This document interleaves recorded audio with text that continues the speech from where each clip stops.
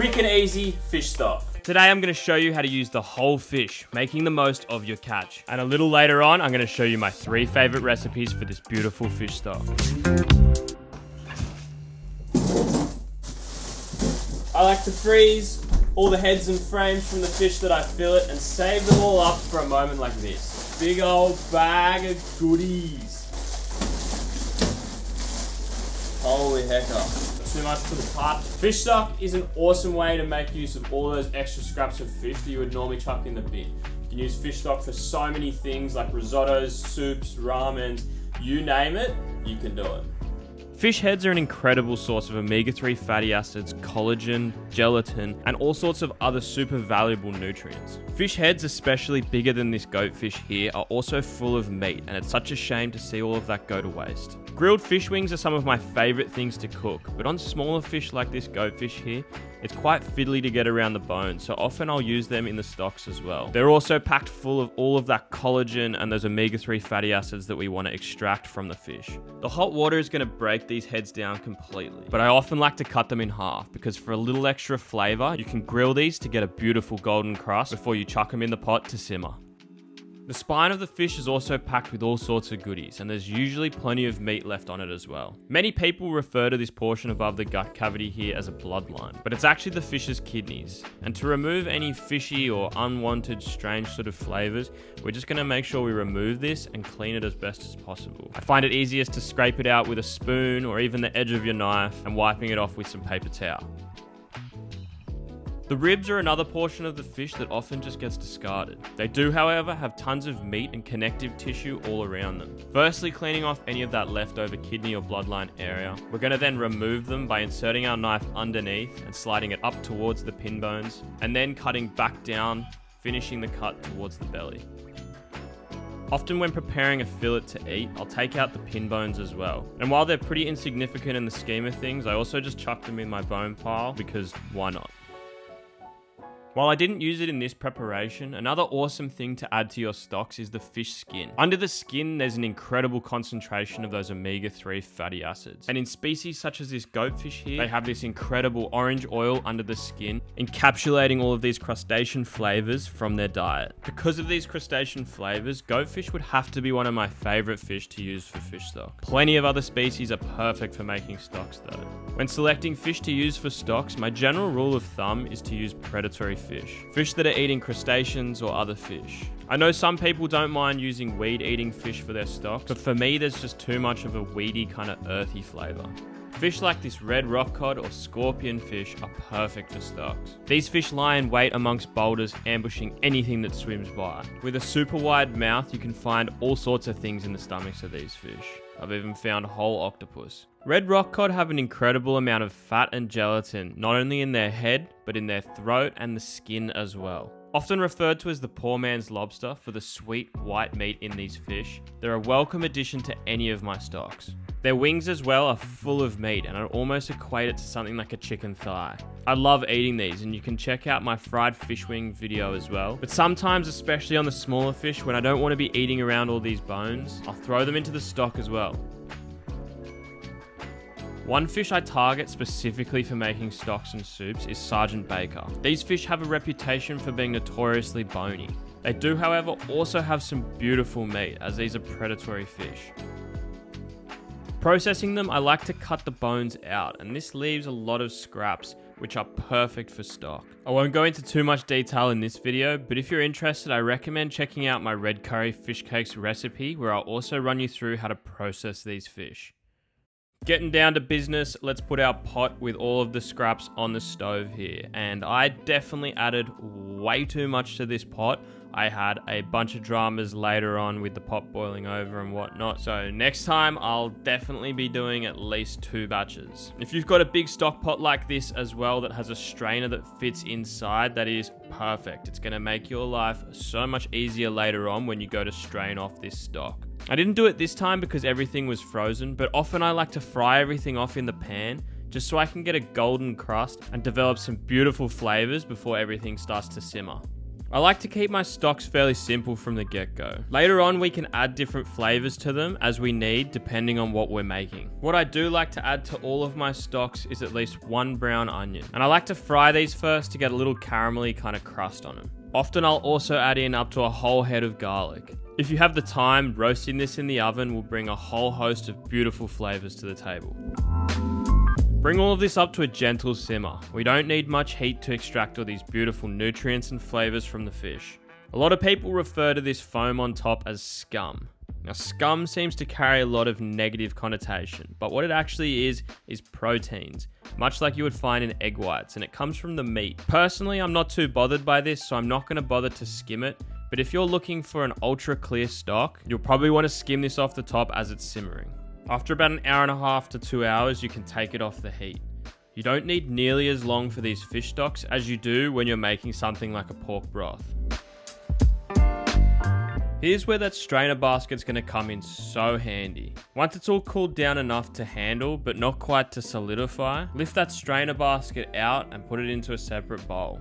If you don't have access to a strainer basket like this, you can just pour it through a regular strainer a couple times, but it is a much slower process. Now that we've removed all of those bigger chunks and bones, we're to pour it through a finer strainer just to remove any of those lumps of proteins that have formed. All of it is edible, but the finer your strainer, the more you're to be able to remove these, leaving you with that pure stock. You don't have to use a big stock pot like this. You can make smaller amounts, but I prefer to make big batches that I can put into jars and freeze for later to use whenever I want. Especially in winter, it's really nice to be able to grab these out whenever you need for a quick and easy dinner. Just make sure you label your jars so you know when they went in. A cool trick I learned from Dobbers on Instagram, if you haven't checked him out, I definitely recommend that, is to wrap some masking tape around an elastic band and put that around your jar. Often the tape won't stick when there's any moisture on the jar, and it also saves all that sticky gunk you can get stuck on there sometimes.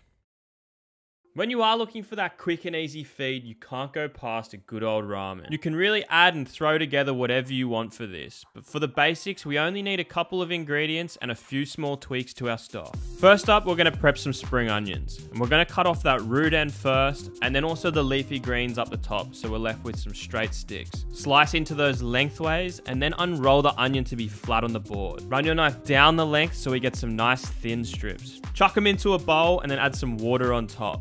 We're gonna put these in the fridge and they're gonna curl in the water. And this is gonna make for some beautiful presentation a little later on. Next up for potentially our longest part of this whole process, I'm gonna get some water boiling and throw in a couple of eggs. We're probably only gonna do one egg here, but I always like to do two just in case one doesn't quite turn out how we want. Now a good rule of thumb for a nice soft boiled egg is somewhere between six and seven minutes. So I'm gonna set a timer here for six and a half minutes. Taking our stock out here, you can see all of that gelatin has solidified. Now this one's only been in the fridge, but if you froze your stock as well, you don't need to defrost it, just break it up enough that you can get it out of the jar. Sometimes it helps to add a little boiling water into the jar and you can shake it all up and get every single drop out. To turn this simple stock into a beautiful ramen soup, we're gonna add some more flavors. I'm gonna start with some soy sauce here and then a drizzle of mirin as well. The beauty of ramen is you can do and add whatever you like. Some other ideas I've tried and liked in the past are sake, miso, and ponzu, but the possibilities are endless. Always remember to try it as you go so you know what to add and you don't overdo it. Here I like to add some mushrooms into the stock so they can poach for a little while, and I was lucky enough to find some fresh shiitake mushrooms at my local supermarket. When you cook your mushrooms like this, they're going to soak up all those beautiful flavors of the stock. With our timer going off here, let's take these eggs off the stove. It's super important here that we chill these eggs down as quickly as possible to stop them cooking. Can throw them into a bowl with some ice water or even just take them out of the hot water and run some cold water over them until they've cooled down. Let's get that pot back onto the stove and pour some water in there and get that boiling ready for our noodles in a second. Just before that though, I'm going to throw some oil in a pan. I'm also going to throw some salt in there. And remember how earlier I was saying I like to eat fish wings? Well, ramen is a perfect way to use some of your fish wings. Here I'm frying up some bonito ones and I'm going to make sure this oil is ripping hot. We want to get a nice crispy crust on that skin and fin side. When the oil's hot enough, the fins almost turn into crispy chips. My camera was bugging out a little bit here, but it's around now that you also want to cook your noodles. With all of that prepared, let's take our bowl and I'm gonna first add my noodles into that. Then I'm gonna pour in my beautiful ramen soup with those mushrooms and add the other ingredients. Let's get it looking pretty with our curled spring onions here, and then we're gonna add a sprinkle of aonori, and lastly some katsuobushi as well. So there it is, that's our ramen. Fairly quick and fairly easy when you've already got that stock prepared and you're in a pinch. Now this next recipe definitely isn't quite as quick, but I can tell you what, it is certainly just as tasty. This is my Vietnamese inspired fishball soup. For this one, we're gonna be using bonito. And let's take the fillets off, remove the ribs, and then slice the pin bones out, separating the loins. Skin these, and then let's cube up our meat. For our balls, let's prepare some garlic and some ginger. I'm gonna leave this ginger whole and just peel it because we'll grate it as we add it into the food processor. Let's also prepare some lemongrass ready to be grated into the food processor as well. And lastly, let's tear off some coriander. I'm also going to prepare some ginger and lemongrass to add to our stock while it's heating up. I'm only going to rough chop these. We don't need them too fine when we add them to our stock. To season our fish balls, I'm going to grind up some Szechuan peppers. In future, I'm definitely going to tone this back a bit. I definitely got a bit excited here and added a few too many. We're also going to add some coriander seeds and salt to that. Grind it all up and then let's get the food processor out. Into the food processor, let's throw our fish, our seasoning mix with way too much Szechuan pepper, and our garlic. Then let's grate in our ginger and lemongrass. Once that's done, I'm going to add a splash of fish sauce, sesame oil, and then a sprinkle of chicken bouillon powder. Lastly, an egg white to bind it all together. Blend all of that up, and once it's all combined, let's throw in our coriander. Chuck it on again very briefly so we don't completely pulverize it. Scoop the mix out and portion it up into little balls. I find a tablespoon here helps to create perfect bite-sized pieces. It also helps you to create that spherical shape. Once you're done with all of those, let's set them aside and then get ready to make our soup.